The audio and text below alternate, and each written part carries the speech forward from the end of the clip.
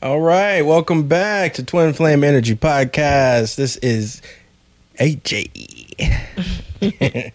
And I am your co host, Dominique, and we are live streaming on Twitch. This is podcast number Yes, 14. And the title of today's podcast is Reflections Part 2 Part How two. I See You. Or for those out there, how do you see your spouse? Mhm. So let's get right into it. Phones on silent. Don't know if mine is, but it is what it is. So the first article is coming from psychologytoday.com. The title of this article is How Do You View Your Partner? Mm-hmm. So each of us holds opinions about the people around us. These are developed from what we observe and remember of their strengths and weaknesses. We generally stick to a salient memory. One mm-hmm. th- ones that are the most noteworthy or personally mean- meaningful from those memories we develop what is referred to our global perspective which is the way we simplify the world we think of them in very broad terms we might come to classify some people as caring about others some can't be trusted that one's a snob and so forth Right. so, my question is Do you think you have created a global perspective, or I guess preconceived notions about me, and are they fair? I don't that that global perspective thing. Like, I absolutely just like. I actually hate the idea of a global perspective because it's really not how you perceive things, how you feel, and how you think about certain things. So, I don't feel like I've. I don't really go by that. I just know I go by she makes me happy. She does these things for me. This feels right. And you know what I mean? Sometimes it changes. Sometimes you feel a little bit different. But global perspective will stay the same. Mm-hmm. You know what I mean? It'll just it's just a perspective. It's the way that they tell you that things are supposed to be. And I just I don't know. I just don't I don't really get with that. I guess, I mean, I can say I have created a global perspective about you, Mhm. and I know it doesn't necessarily line up with who you want to be Mhm. or who you are coming across as, or Mhm. like who you are at your core. Let me say that. Okay. because who I think you are at your core is some is a way different from who sometimes I think I perceive you as from a global perspective.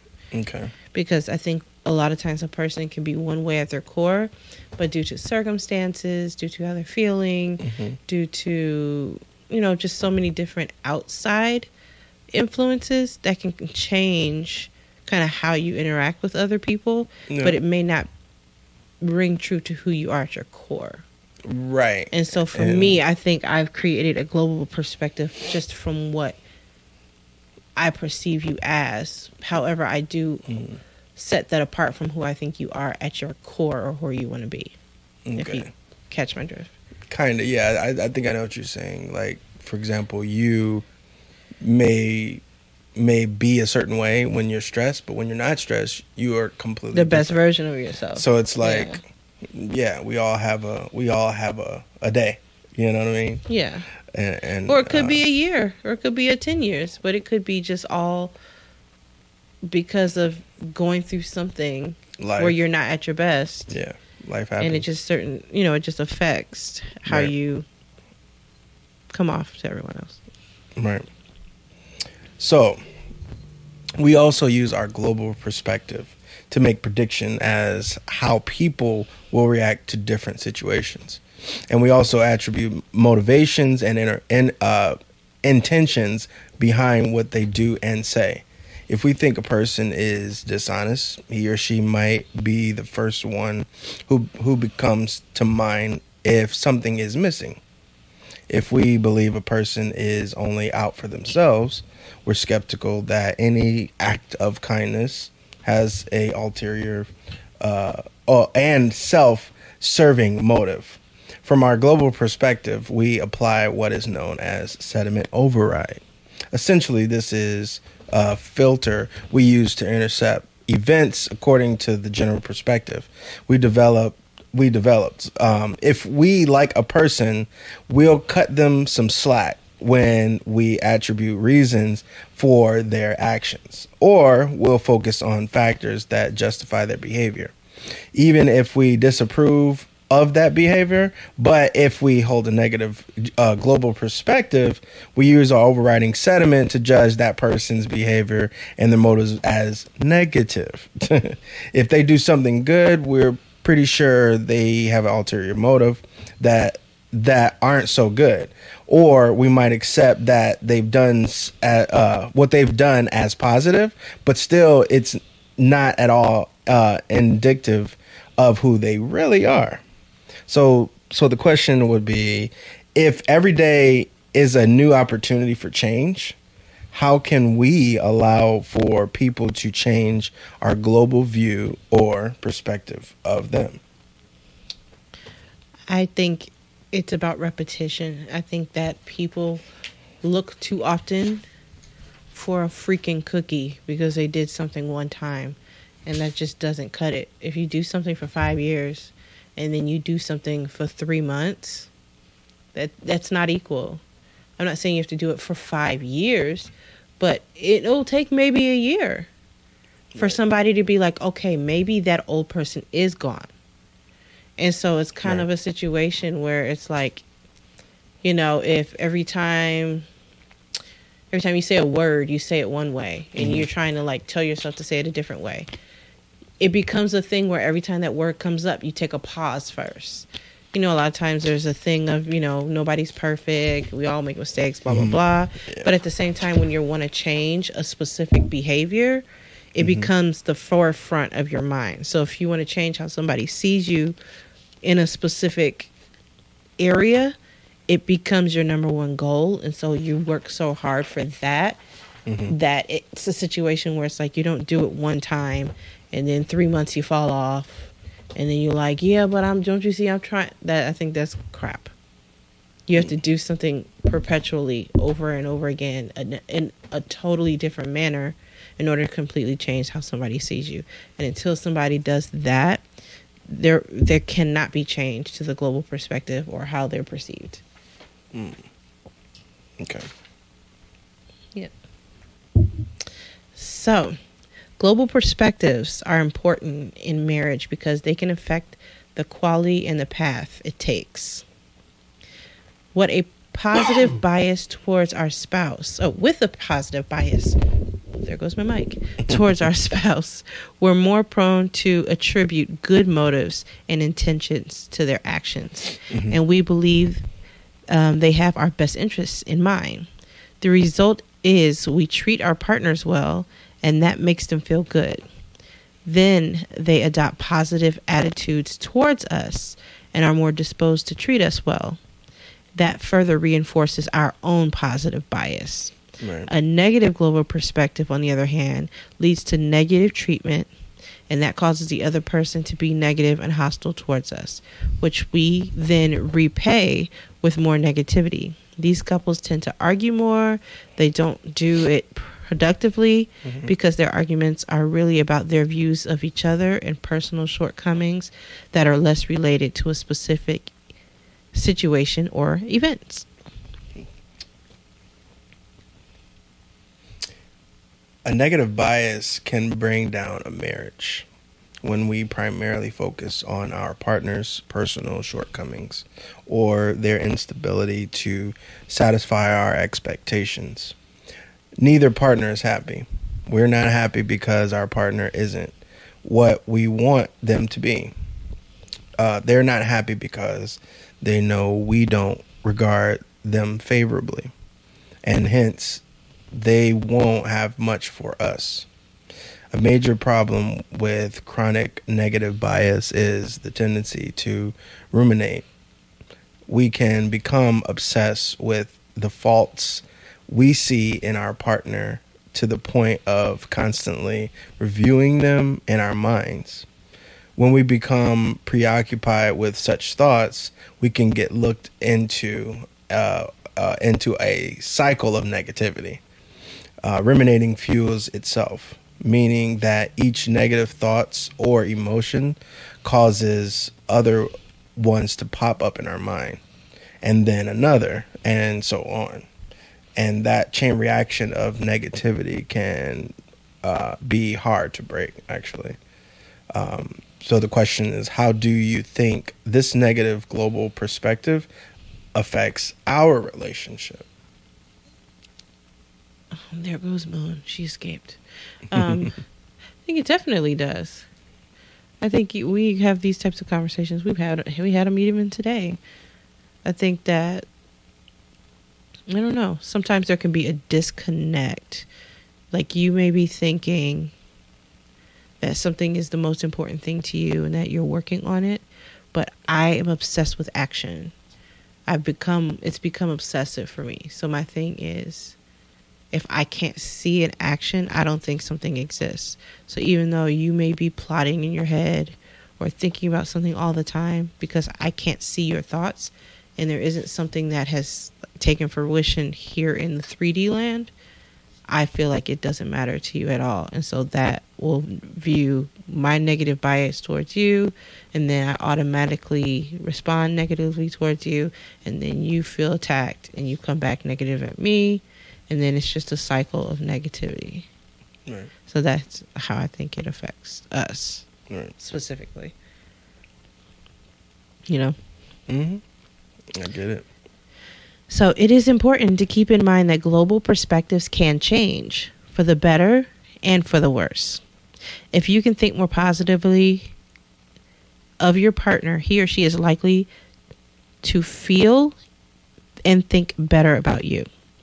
However, you should always always keep in mind that if your spouse thinks highly of you and your behavior doesn't justify it or your bias is negative, you will eventually be demoted. Bad behaviors and attitudes will be executed once in a while, but not forever. So the second article comes from uh, insider.com, www.insider.com. The title of the article is 10 Signs You Don't Know Your Partner as Well as You Think You Do.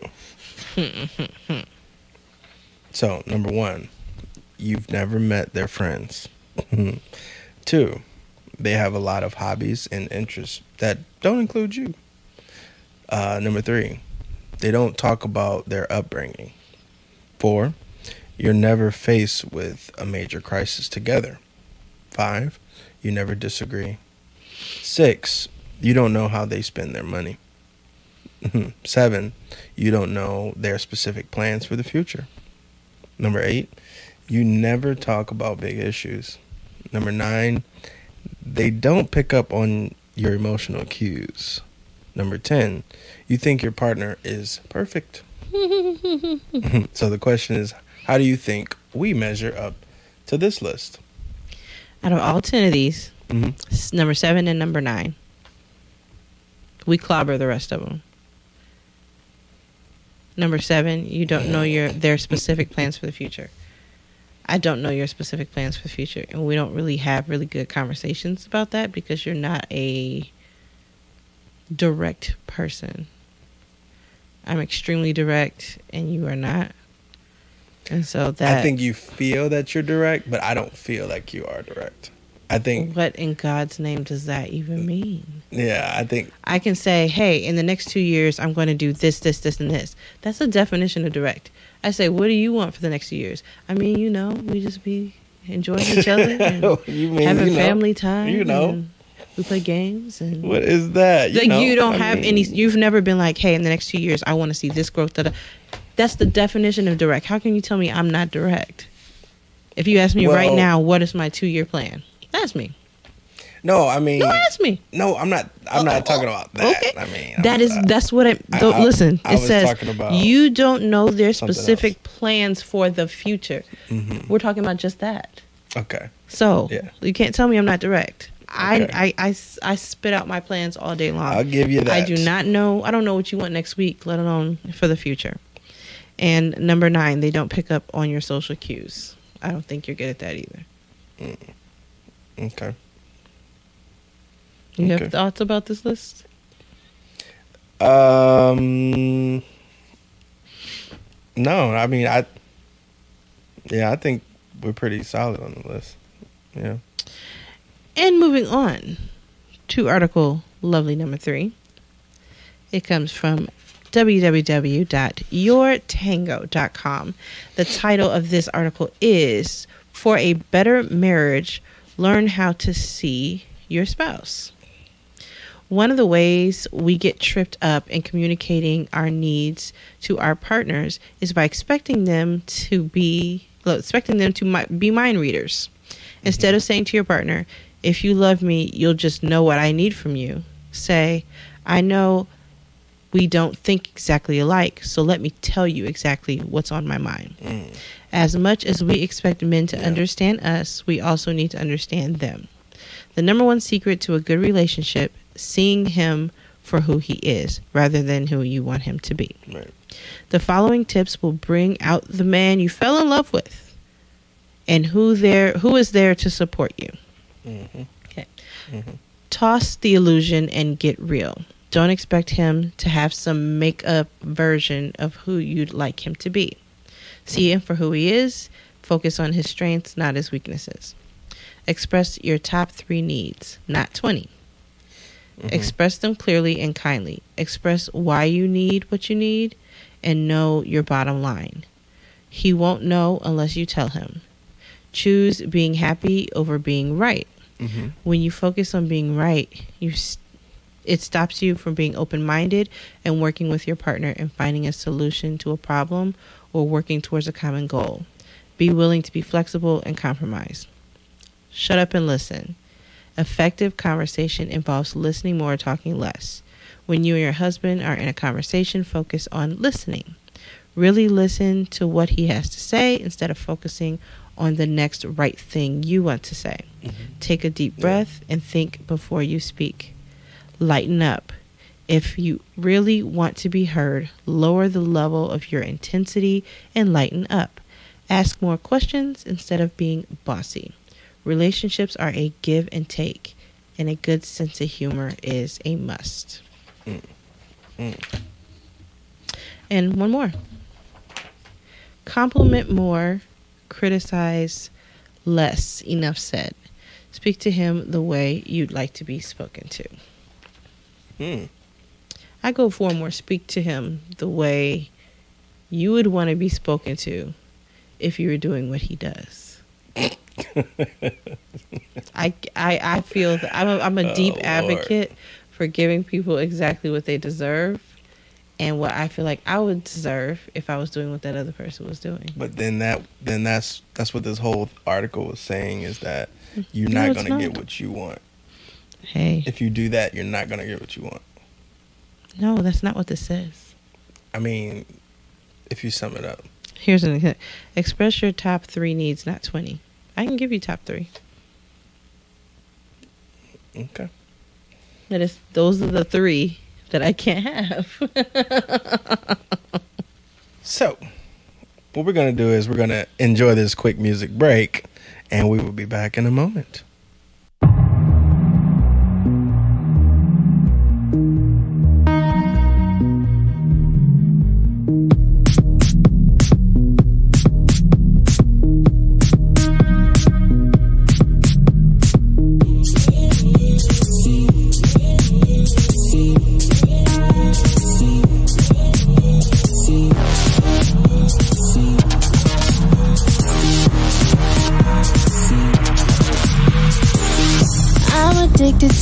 Myself. So in love with myself. If that rubs you the wrong way, then you're not the one for me. There's something about your energy that it just keeps drawing you to me. I think it must be a soul sign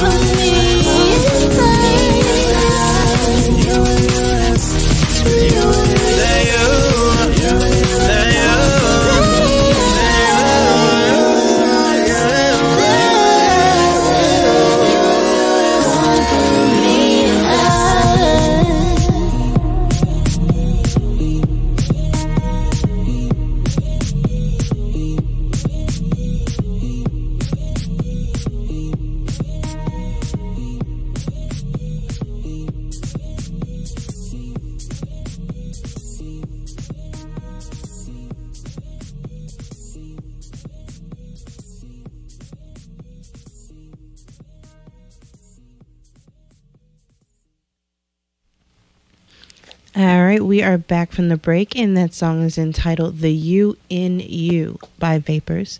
Ever so fitting and available everywhere you choose to stream your music. Man, say that slow. The U in you.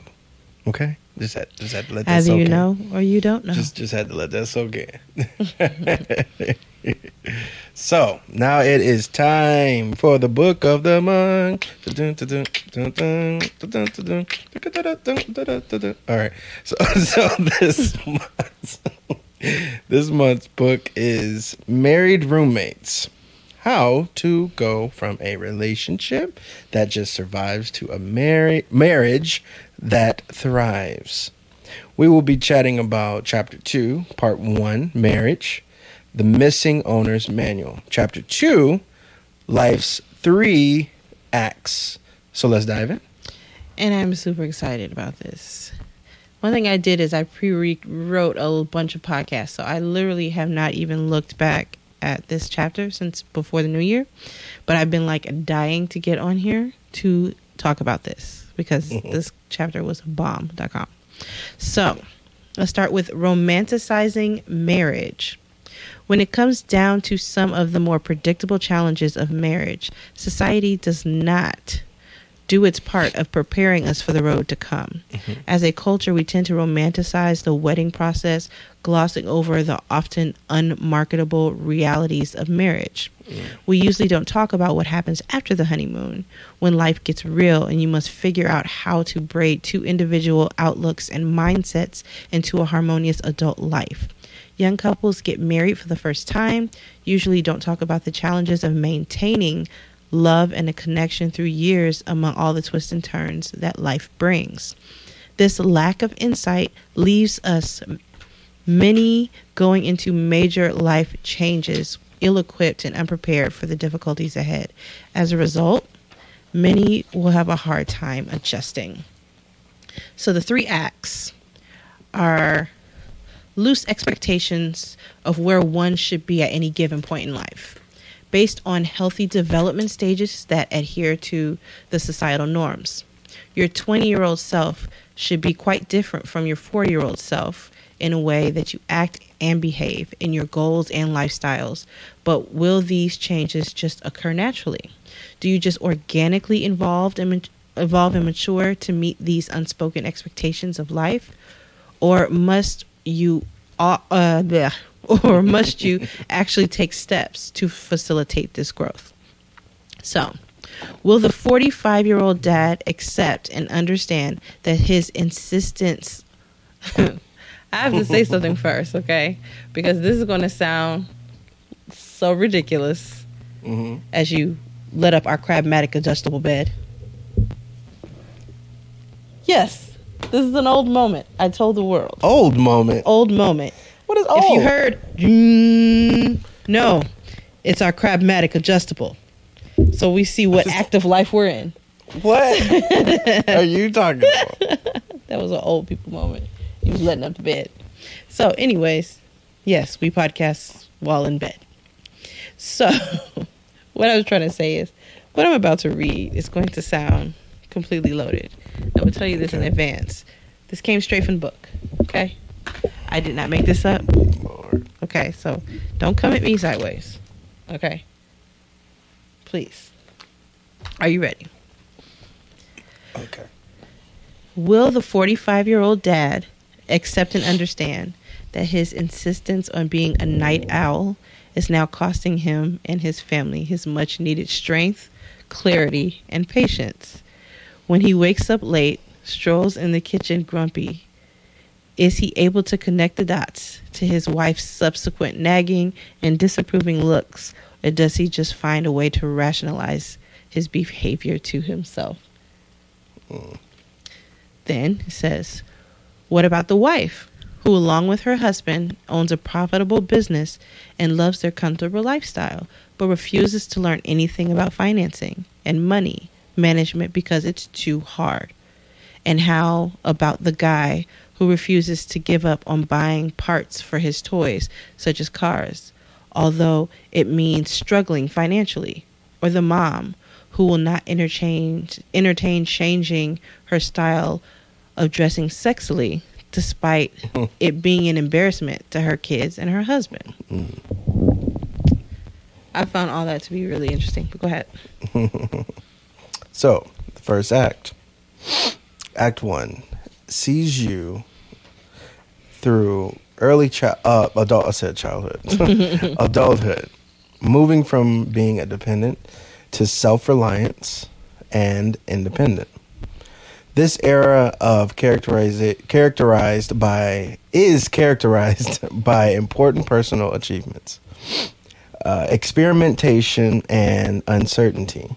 For many, it is a time of complete self absorb. Ab- ab- Absorption. I know. We have ab- absorption and self discovery, during which you learn to become more comfortable in your own skin. Act one generally gives you the space and freedom to develop your individual individuality. Living on your own, college, first jobs that morph into careers, and coupling up in mature relationship characterize the act's major milestones. During this time, the focus is on yourself. And in accordance, your reality and behavior are shaped through the lens of yourself as a self driven indi- individual entity. If you missed the opportunity in Act 1, you may have to wait a long time until you you're, until the responsibilities of Act 2 fade out. For those dreams to become a reality again, some opportunities may be lost to you forever, such as sowing your wild oats before marriage. And you may just have to wait to, to accept that you missed the boat and do so without lingering resentments. Mm. The duo of Act 2 Act two officially kicks off when you commit to a life of we instead of me. Pairing up, you choose to go through life, life's adventures alongside a partner. And whether or not, or whether married or not, in Act two, you share life with another. This can be tough, a tough transition where you are all of a sudden expected to go from making choices for and by yourself to now having to compromise. Find middle ground and share all elements of your life with one another. Couples are often not prepared for stressors and difficulties that accompany life's major accomplishments in Act 2. Getting married, having kids, having more kids, moving to a bigger house, and advancing in their career. All ultimately create greater expectations and more responsibilities that you do not have the infrastructure to support. Since you are all still operating with the insight and habits of Act 1, which now come up significantly short, the reasons often fail to manage these increased demands in life and in your relationship. More uh, has more to do with your instability uh, and an inability to uh, anticipate and change expectations and or behaviors accordingly than your inability to do so. It is as if the treadmill you were running on just sped up and failing to adjust your speed accordingly, you fall. If you knew that the pace was about to change, you would have to be ready for it. The insight that in Act 2, every part of your life will change, and that is normal, eludes us. So, would you say that that I don't even know what I'm trying to say. I'm trying to say going from Act One to Act Two. Do you think you were ready for Act Two, or aware of what Act Two would expect of you? No. I could say I agree with you. I think I was. However, I Because you just like Miss Perfect. no, that's not what I'm saying. I'm kidding. However, this is where I toggle. You know what? Drink some water. It's gonna be okay. Hmm? Drink some water. Oh. Yeah, she got me reading like uh, a million pages. You're gonna be okay. Drink some water. My throat is a little dry. I see myself. uh, First of all, I didn't get a chance to act one, hmm and I, that really bothers me. But I think it only bothers me because I want to be flowing more in Act Two, and I feel like because our wants and needs and desires have not completely aligned hmm the way that they need to, we have, are struggling in Act Two. So because we're struggling in Act Two, it actually diverts me and makes me miss Act One instead of being happy in Act 2 mm-hmm. because Act Two can become miserable for me, and so I start thinking about the Act Two that never. I mean, the Act One that never was. Right. You know what I'm saying? Right, of course. Whereas if we could get aligned in Act Two, and I could see true progress in the partnership of Act Two, I could be totally in it and love it. You know what I'm saying? Right. So, Every moment now seems to have multiple demands placed on it. But instead of working as a team, you split the load. You end up going at it alone, which just makes it harder. By doing so, you eliminate more and more of what you need to support one another to meet these increasing demands. You spend less time together, less time alone with or with less time alone or with friends. You stop doing what makes you happy. You eliminate hobbies and other avenues of self-care now are now seen as luxuries. You cancel the monthly get together with your friends at basketball court or golf range. There is no more yoga, playing pool, or lunches with your lunches at your favorite restaurants. But by eliminating these, you cut out most of the fun and joy out of your life. As I turn the page, mm-hmm. Act 3. this is for my parents. A time of optimism or hopelessness.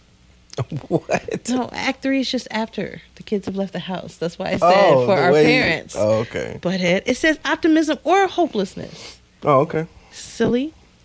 Act three can play out like those. But Act three can play out those. I can't see. Act three can play out like those choose. I don't know what's written here. You know what? We're gonna get this right. Act three can play out like those choose your own adventure book were here, depending on the I don't know what that means. On the choices you make, you get one of these two endings. Okay, we're just gonna start here. Mm-hmm. This can be the time of great happiness for a couple, or a time of deep sorrow as realizations may lead to separation and divorce. Ideally, if a couple is able to hold on to each other through the hardships of an earlier, more challenging time with mutual respect, communication, and love, Act 3 is where you enjoy and reap the rewards. That's why I said parents. Life slows down with fewer responsibilities and mm-hmm. fewer balls to juggle. The kids are now grown, most likely at college or living off their adult lives. Mm-hmm. Their demands on your life are minimal sometimes. Employment should be ramping down, leading towards time of reduced workload and or retirement. That means more time on your hands to do what you love.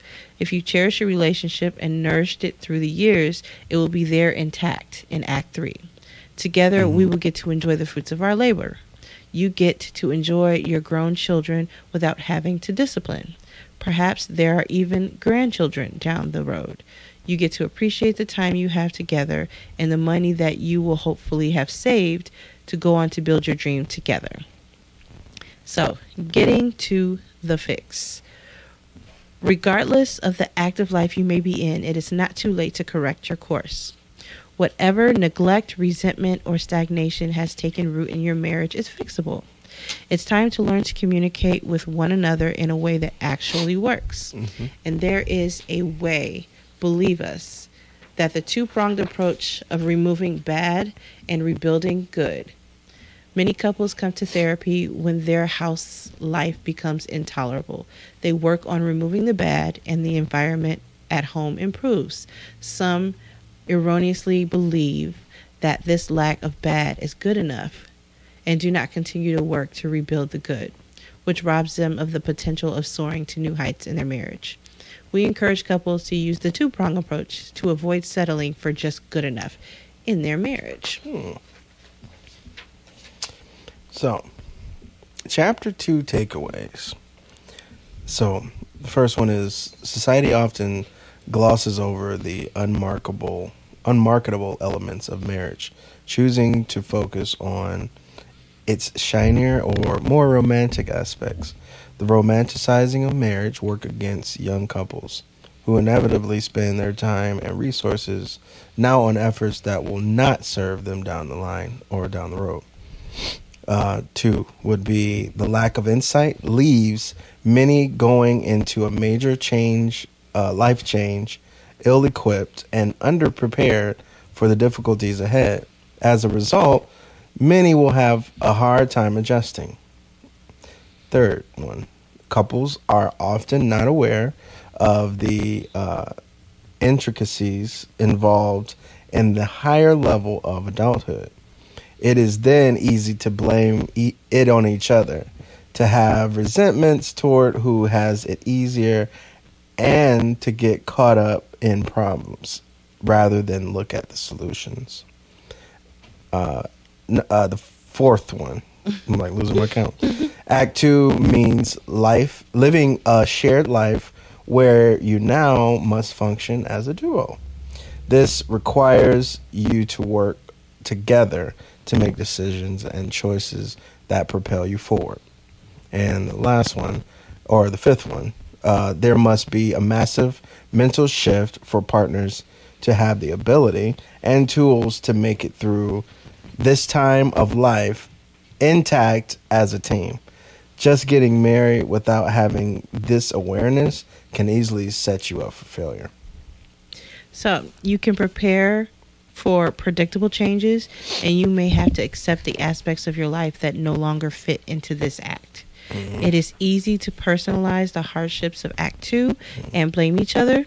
Society may reflect back to you that you are the ones struggling, that this is not the reality in many homes, and it has become your personal problem rather than a systematic one. Technology can mask the problem of your marriage, working along with your bad habits to keep you away from one another in avoidance and mindless exhaustion. Couples get stuck and assume that a lot of this behavior is normal and that the distance they feel from each other is temporary. The years could pass filling with buffers and distractions, but one day those will dwindle and come to stop, and you will be forced to face each other and the relationship you created. It's never too late. Even those in Act 3 can find their way back to each other. You do not have to settle for good enough marriage. Use the two prong approach of fixing your connection. Learn to work to remove the bad and rebuild the good. So, th- the next week we will be reviewing chapter three. It is called Where Did We Go Wrong? Mm-hmm. If you are following along with us, you will be reviewing one chapter a week. That gives us all, obviously, a lot of time to digest and reflect on the information that we have received. Moon literally almost unplugged everything. Yeah, I, I was kind of getting that feeling. like when she I, was like, the, oh, oh, I'm gonna get it this time. I'm gonna get it. Uh, like, oh, well, that cuts this week's podcast short. But all right, it's time for pick a card, any card. I don't know why that song.